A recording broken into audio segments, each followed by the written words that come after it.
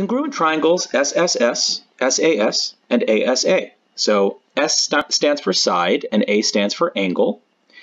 And we are going to figure out which of these rules work in checking whether these triangles are congruent. So there's a side here that matches this side. There's another side here that matches this side. And there's a third side here that matches this third side. So those two triangles are congruent by side, side, side, right here. Okay, which rule explains why these triangles are congruent? Okay, so we've got a side here, which matches this side. We've got another side here, which matches this side. And we've got a third side here, which matches this third side. And congruent basically means the same exact size and shape. If you put this triangle right over this other one, there'd be they would perfectly overlap. So this is side, side, side again.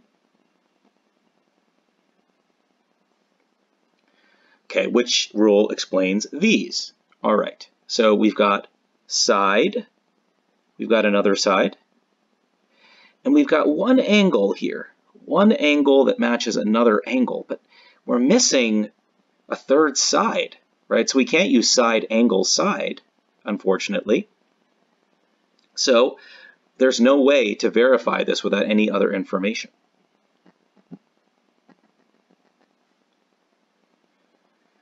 Okay, how about this? So we've got a side that matches this side. We've got another side here that matches another side there.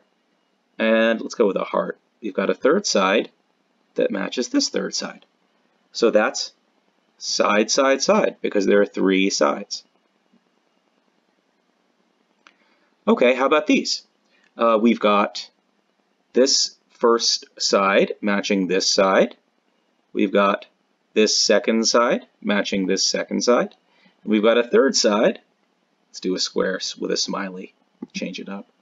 We've got this third side matching this third side, right? So by matching, I mean that the numbers are the same. The lengths are the same, right? So side, side, side tells us that those two triangles are exactly the same. Okay, how about this? Ooh, this is a different one. We've got a side here and a side here. We've got an angle here and an angle here. And we've got a side here matching this side. So that is side angle side. Cool. Okay, how about this? Ooh, this is interesting. We've got an angle. The two lines there means it matches these two lines. So those two angles are exactly the same number of degrees or radians. This side matches this side. And this third angle matches this third angle. So we have angle, side, angle, right? Angle, side, angle.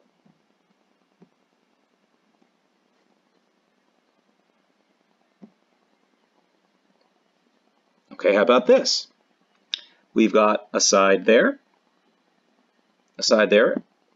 There's both one curved line there and one curved line there. That means those angles are congruent or they're the same size. And this third side here is the same as this. So we have side, angle, side, or SAS, side, angle, side. Okay, how about this? We have angle, side, angle. Right, so that is angle, side, angle. We, we have to check that these numbers match, right? There's a 2 there and there's a 2 there. And, you know, so we're not just, yeah, just be careful with that. So angle, side, angle. All right, and for the last one, I think you guys are getting the gist of this. Ooh, I bet you guys know what this one is. This matches this. So we've got 1 matching 1. We've got two here matching this length, this side length. And we've got three matching this 3.